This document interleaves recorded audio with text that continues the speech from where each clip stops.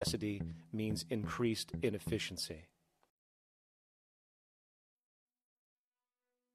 The American dream is based on rampant consumerism. It, it is based upon the fact that mainstream media and especially commercial advertising, uh, all corporations who need this infinite growth have convinced us or brainwashed uh, most people in America and hence the world that uh, we have to have X number of material possessions and the possibility of gaining in infinitely more material possessions in order to be happy. That's just not true. So how why do people continue to to buy in this way, which is ultimately eco-genocidal in its systemic effects cumulatively? And it just is classical operant conditioning. You simply put inputs of conditioning into the organism, and you have outputs of uh, desired behaviors or goals or objectives. And it has all the resources of technology and they boast about how they get into the minds of infants. What they hear uh, is already making them conditioned to the brand. Then you see, well, that's how uh, people have been such fools, in a way they've been taught to be fools. It's a value system disorder.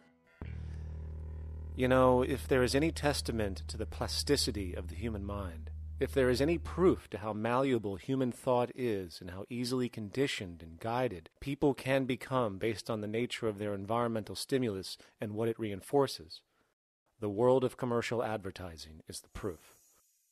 You have to stand in awe at the level of brainwashing where these programmed robots known as consumers wander the landscape only to walk into a store and spend, say, $4,000 on a handbag that likely cost $10 to make in a sweatshop overseas, only for the brand status it supposedly represents in the culture.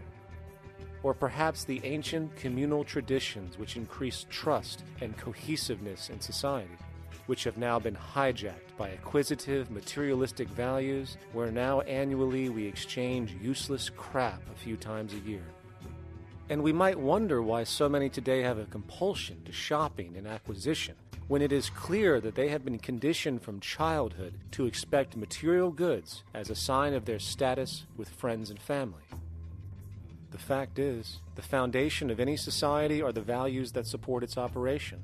And our society, as it exists, can only operate if our values support the conspicuous consumption it requires to continue the market system. 75 years ago, consumption in America and much of the First World was half of what we see today per person. Today's new consumer culture has been manufactured and imposed due to the very real need for higher and higher levels of consumption. And this is why most corporations now spend more money on advertising than the actual process of product creation itself.